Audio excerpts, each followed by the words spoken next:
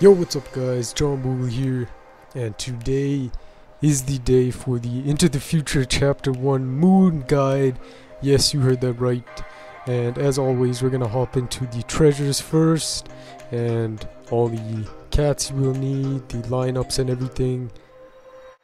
Alright, here we go. These are all the treasures you will need, and it's basically every single one of them except for the moon treasure. So make sure you get all the treasures superior and make sure they are superior once again because people just get normal treasures and they think they can beat it. But having all them superior makes a really big difference.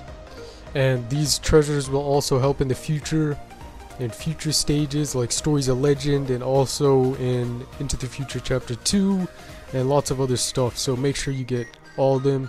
And here we go. This is the lineup you will need for this level and I'm gonna make some suggestions and stuff and some stuff you could change around but some stuff that you shouldn't change. So of course we got the cat as a staller um, pretty basic.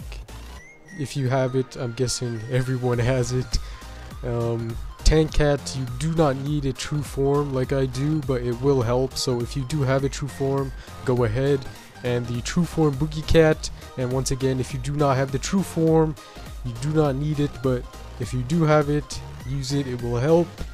And of course, of course, Paris, Cat, and once again, you do not need the true form, but true form Paris in this level is absolutely amazing because if you didn't know, the cyborg version of Paris negates weaken effects, and the boss does weaken enemies, so True Form Paris is a big one for this one. And Crazed Whale, this is another big one. And if you do not have Crazed Whale, there is a substitute for it, but it's fairly easy to get. You only need like level 25 cats to get Crazed Whale. And if you do not have Crazed Whale, then you can substitute it with Rover Cat, which is right over here. This cat right here, you can replace Crazed Whale with this cat if you do not have Crazed Whale. And the next one, this is an optional cat you can bring. It's either you bring it or don't bring it. This is future John here, and I forgot to say, if you do have true form Sexy Legs cat, replace it with this cat. Or replace it with something else, but just in case, this is an anti-alien cat which slows alien movements. And this is a very big one right here. We got true form Maiden, as you can see. But if you do not have true form Maiden, use the Titan cat and I recommend having it plus 7 and above, plus 6 and above because it's a big cat to have because if the hippo comes out in the stage, this is your main thing against it. And another big one is of course Dragon Cat. Luckily I do have my true form, but you do not need true forms. And of course Valkyrie Cat and the Bahamut is the last one. And this is the lineup you will need and now let's finally hop into the actual guide. Okay, so I did record this previously, but the file got corrupted, so I'm gonna have to re-record it. But here we go. We're gonna hop into it again, and once again, this is the Into the Future Chapter 1 Moon Guide. And of course, if you're having troubles, the power-ups you can bring is Sniper and Rich Cat if you're having trouble at the beginning. And the main goal for this moon stage is to try to take out the boss before the alien pig comes out because if it does come out and you're not prepared for it, it can wipe out everything that's in its way because of those wave attacks. But this is going to be the run where we kill the boss before the pig comes out and after this one I'll make sure to do a run where the pig actually does come out in that scenario and I'll show you how to deal with it. But you want to start off this level of course getting your wallet upgraded few times and you can make a big push in the beginning here with your uh, Crazed Whale and Titans or Maiden Cat and it will do a pretty good amount of damage because the Crazed Whale can survive a hit and of course the Titan can survive a hit and if you get a couple knockbacks in the beginning here I'm sure you will defeat the boss before the pig does come out. So that's our goal in this run here. We're gonna go aggressive and keep spawning in those crazed whales or the rovers consistently and every a Paras every now and then will help to clear out some of the bunches of enemies, and of course a Titan every now and then, and try to get two or three knockbacks on this boss, and you should be good. And as you can see, we already got one knockback, and we should be getting two. There we go, boom, two knockbacks already, and none of the main bosses have come out yet. So we're looking pretty good here. Three knockbacks, there we go. And as you can see, treasures are very, very effective. So make sure you do get them superior.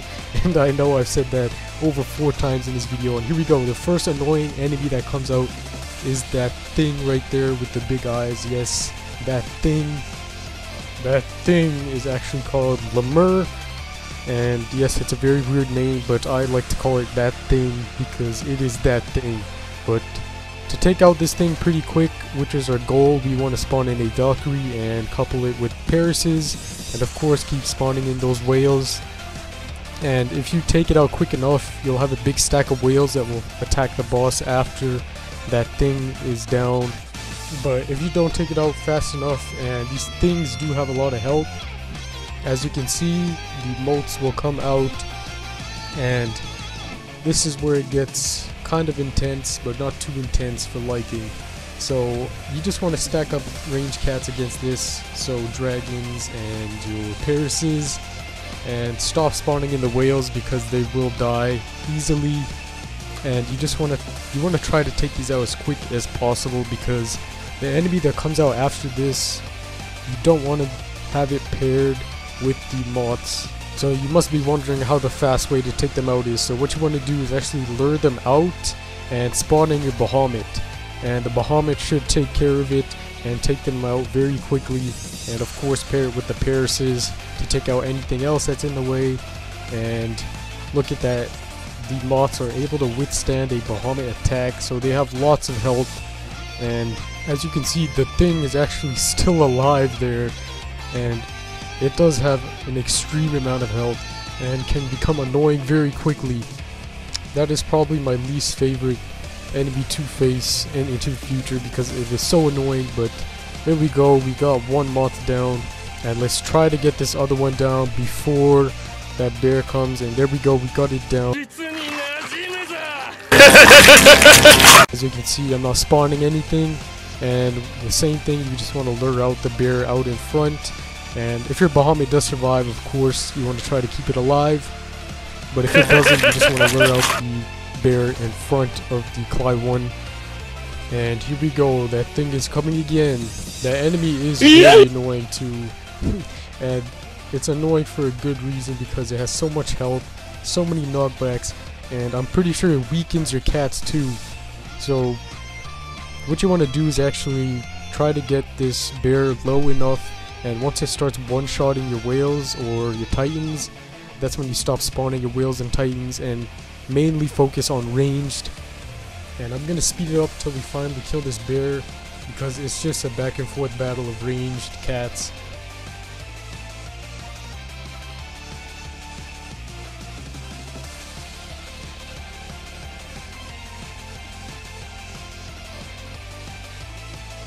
And here we go, he should be dying any second. Boom, it's down. And this is where we make our uber push and go all out offense because we do not want the next big secondary boss to spawn in. So try to get as much damage as possible done. And if you're wondering why you don't want to let the secondary boss spawn out is because it is the pig and that pig is just gonna wreak havoc on all your stack cats. So you want to try to get this Cli-one down and killed in this push. So make sure you just keep consistently spawning in those whales and titans. And of course Valkyrie if it's recharged. And of course your stallers to keep everything in line. And boom there we go. It is down. Our huge whale stack and titan stack took it down. And get the base down as fast as possible before that pig comes out. And this is the run without the pig coming out. And of course after this run I will show the scenario. If the pig does come out and you do not kill the boss in time and how to defeat it properly without getting wrecked. But most of you should be able to take it out before the pig comes out because if you have all the treasures and you have level 30 cats this should be no issue. And boom it is down. But yeah let's hop into the other scenario where the pig actually does come out. And here we go. This is the scenario and as you can see the pig is right there. And what you want to make sure is you have your Bahamut ready for this and you want to spawn in your tanky units like the whale and titan and keep consistently spawning in those Parises. And you want to try to get as much Bahamut hits off as possible but of course if he does keep waving your titans and whales will be there to tank the damage and get some hits off. And you do not want to spawn in your stallers too much. As you can see I'm not even spawning any stallers right now because you want to give your ranged cats some leverage to get a hit off before the waves go off. And the stallers make the waves go off a lot quicker than usual so make sure you only spawn in your whales, your Parises, your titans and and worst comes to worst that's when you start spawning in your stallers. And of course, of course, if you have Valkyrie up, that will help out too, but in this scenario, I did not have Valkyrie up, I only had the Bahamut, but it should still do enough damage to take it out, and boom, there we go, it's taken out, and like before, once we take out this pig, that's when we go full out offense on the boss, and take out the Cli-one.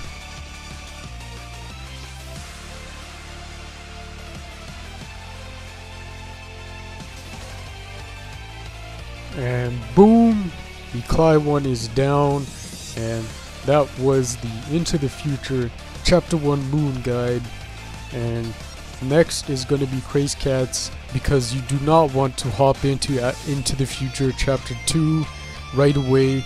Go to stories of legend try to get your Ururun Wolf try to get some craze cats maybe even all of them before we hop into into the future chapter 2 and start doing that. But yeah that was the guide. Drop a like if this guy did help you out and of course comment below if you are struggling try to help you out. But yeah that was into the future chapter 1 moon guide. I hope you guys enjoyed. Leave a like if you did subscribe if you new and yeah that's it guys. It's been john Boo and see ya